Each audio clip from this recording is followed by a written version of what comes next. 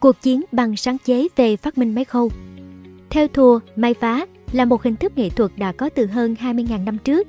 Kim khâu đầu tiên được làm từ xương hay sừng động vật và sợi chỉ đầu tiên làm ra từ gân động vật. Tuy có lịch sử lâu đời là vậy, nhưng việc áp dụng máy móc cho loại hình lao động này có tuổi đời khá ngắn. Tới thế kỷ 14, kim sắt mới được phát minh ra. Chiếc kim có lỗ nhỏ đầu tiên xuất hiện vào thế kỷ 15. Và mãi tới những năm 1850 mới xuất hiện chiếc máy may thương mại đầu tiên. Dần dà, máy may đã trở thành một món đồ quan trọng trong nền kinh tế. Tuy nhiên, có một thời gian, cuộc chiến bằng sáng chế đã khiến việc phổ biến phát minh này gặp khó khăn. Những chiếc máy may đầu tiên Câu chuyện bắt đầu từ năm 1755 ở London. Một di dân người Đức tên là Charles Wiesenthal chế tạo chiếc kim đầu tiên dành cho máy khâu và đã nhận bằng sáng chế cho phát minh này. Thế nhưng, sáng chế này không mô tả phần còn lại của cỗ máy khâu. Chính vì vậy chúng ta không rõ là liệu cỗ máy khâu này liệu có từng tồn tại hay không. Vào năm 1790, nhà phát minh và thợ mộc người Anh Thomas Sand được cấp bằng sáng chế đầu tiên cho bản sơ đồ một máy may hoàn chỉnh, gồm kim khía, hình chữ V và dùi. Chiếc máy này được thiết kế đặc biệt để đục lỗ trên da. Ta không rõ liệu ông Sen có dựng một mẫu thử nghiệm cho phát minh này hay không. Nhưng sau này, người ta mô phỏng lại phát minh của Sen dựa trên bản vẽ sáng chế, nhưng chiếc máy đã không thể hoạt động. Đầu thế kỷ 19, Joseph Madersberger, một thợ may người Australia, chế tạo hàng loạt máy khâu Mỗi chiếc thực hiện một thao tác khác nhau. Ông nhận được bằng sáng chế cho nỗ lực của mình. Sau khi nhận được bằng, ông vẫn không ngừng làm việc để chế tạo những chiếc máy khác tiện dụng hơn. Tuy nhiên, chẳng bao lâu sau đó, Joseph chết vì bệnh và nghèo đói. Sáng chế của ông cũng nhanh chóng bị lãng quên. Nhân vật nổi cộm trong danh sách những người chế tạo ra máy khâu còn có Barthélemy Timonier, người được chính phủ Pháp trao bằng sáng chế vào năm 1830. Chiếc máy khâu của Timonier phần lớn được làm bằng gỗ và cho phép người thợ may có thể thực hiện nhiều thao tác. Dù vậy, nhiều công đoạn vẫn phải may tay. Không giống như những người đã chế tạo ra máy khâu trước đó, Timonier chỉ thích làm ăn lớn. Vì vậy, ông đã thuyết phục quân đội Pháp thành lập một xưởng may chuyên may quân phục. Gần 10 năm phục vụ trong quân đội, ông có trong tay hơn 80 chiếc máy khâu. Cơ sở của ông ngày càng phát đạt và tạo được tiếng vang lớn trong ngành may. Điều này đồng thời đã hất độ chén cơm của giới thợ may tại Paris. Những người này lo sợ rằng nếu Timonier quá thành công, họ sẽ bị thất nghiệp. Vì vậy, vào một đêm tối trời, một toán thợ may cuồng nộ ở Paris đã kéo đến xưởng may của Timonier, đập phá tan tành mọi tài sản ở đây. Timonier may mắn trốn thoát. Nhờ sự giúp đỡ của quân đội Pháp, một thời gian sau, Timonier thành lập lại xưởng may khác, định dân dân gây dừng lại sự nghiệp. Biết tin, nhóm thợ may lại đến quậy phá, Lần này do trong nước có nhiều biến loạn về chính trị, nên quân đội không còn quan tâm tới Timonier nữa. Ông đành mang theo một chiếc máy khâu nguyên vẹn trốn sang Anh.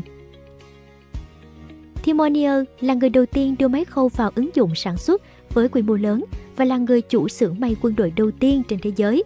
Sau này ở Anh, Timonier còn chế tạo máy khâu với mục đích kinh doanh. Tuy nhiên, dù đã nỗ lực bằng nhiều cách, Timonier vẫn có cuộc sống cuối đời, hết sức nghèo khổ và chết trong một ngôi nhà tồi tàn ở Anh. Dĩ nhiên khi đó số phận của những chiếc máy khâu cũng bị lãng quên. Elias Howe, ông tổ của những chiếc máy may công nghiệp. Năm 1840, Elias Howe, một kỹ sư chế tạo máy người Mỹ, đã bỏ ra nhiều công sức nghiên cứu máy may. Thế nhưng vẫn chưa tìm ra lời giải cho bài toán khó. Bỗng một ngày khi đang ngủ, thì ông mơ thấy mình bị một nhóm người mang trợ chém đầu và cho vào nồi để nấu ăn. Khi ông liều mạng bò ra khỏi nồi, nhưng lại bị họ dùng ngọn giáo dài dọa đâm chết. Lúc này ông nhìn thấy trên đầu nhọn của ngọn giáo có đục một lỗ hổng. Chính chi tiết này đã khiến Elias Howe quyết định từ bỏ nguyên lý may thủ công, thiết kế một loại kim công có lỗ kim để luồn chỉ may, phối hợp với con sút chỉ tạo nên đường may. Đó là thiết kế sơ khai của chiếc máy khâu công nghiệp ngày nay. Sau khi sáng chế ra chiếc máy may hoàn chỉnh, Elias Howe đã không ngần ngại chi thêm tiền để quảng cáo và triển lãm nó. Nhưng vào thời điểm ấy, người Mỹ vẫn chưa thật sự quan tâm đến máy may, nên Howe đã không bán được chiếc nào. Thất vọng và mắc nợ, Hau đã gửi chiếc máy bay đến cho anh trai mình là Amasa đang sống ở Anh, với hy vọng bên kia bờ Đại Tây Dương nó sẽ được đối xử công bằng hơn. Không phụ kỳ vọng của em trai, Amasa đã tìm được cho chiếc máy bay thị trường béo bở ở Anh. Không những vậy, sáng chế máy bay còn thu hút được sự chú ý của một ông chủ hãng may đồ lót nổi tiếng tên là William Thomas. Ông này hứa dẫn đường cho Howe sang Anh để phát triển sự nghiệp. Tuy nhiên, sự hợp tác không thuận buồm xuôi gió, nên vài năm sau, Hao bỏ về Mỹ. Tuy nhiên khi đến Mỹ, Hao ngạc nhiên vì thị trường máy may ở đây đã hết sức rầm rộ.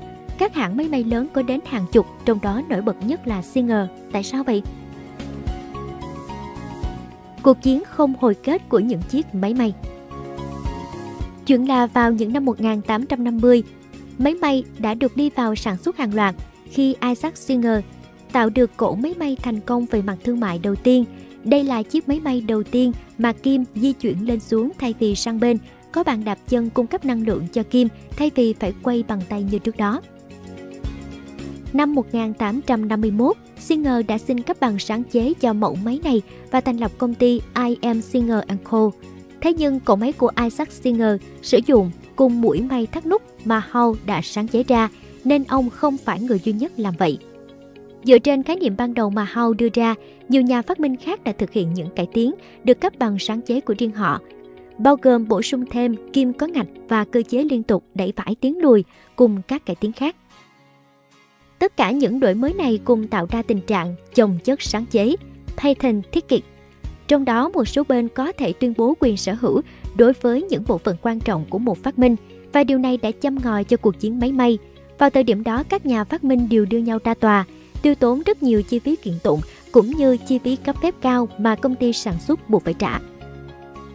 Đơn cử, Elias Hall đã kiện Isaac Singer vì xâm phạm sáng chế và thắng kiện vào năm 1854.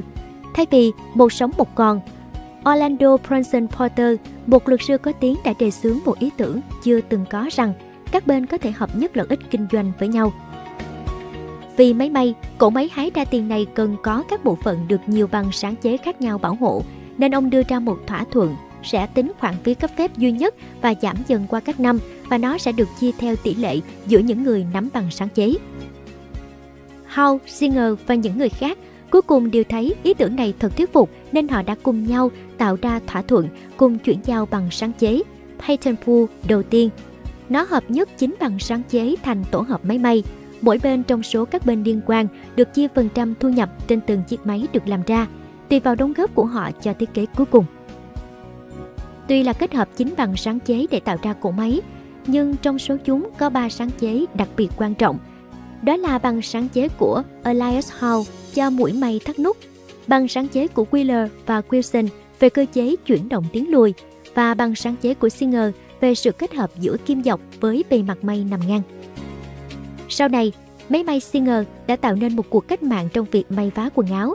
Nó không chỉ biến đổi ngành dệt may mà còn cả hoạt động kinh doanh toàn cầu – công ty Singer đã trở thành một trong những tập đoàn đa quốc gia đầu tiên của Mỹ và đạt được thành công đáng kinh ngạc vào thời ấy. Vào thời điểm mà thu nhập trung bình của người Mỹ là 500 đô, nhưng máy may Singer được bán với giá 125 đô và chúng vẫn bán chạy. Nhờ phát minh máy may mà các bà nội trợ đã không phải ngồi hàng giờ khâu tay và may quần áo nữa, và cũng nhờ chiếc máy may mở ra tương lai sáng lạng cho ngành công nghiệp may khi nó đã trở thành ngành kinh tế mũi nhọn và không thể thiếu. Trị giá hàng trăm tỷ đô mỗi năm, cũng có thể nói những chiếc máy may đã mở ra hàng triệu việc làm may mặc ở các quốc gia đang phát triển, giúp nhiều người, đặc biệt là phụ nữ thoát nghèo. Cảm ơn bạn đã xem video trên kênh Người Nổi Tiếng. Đừng quên nhấn nút đăng ký và xem thêm những video mới để ủng hộ nhóm nhé!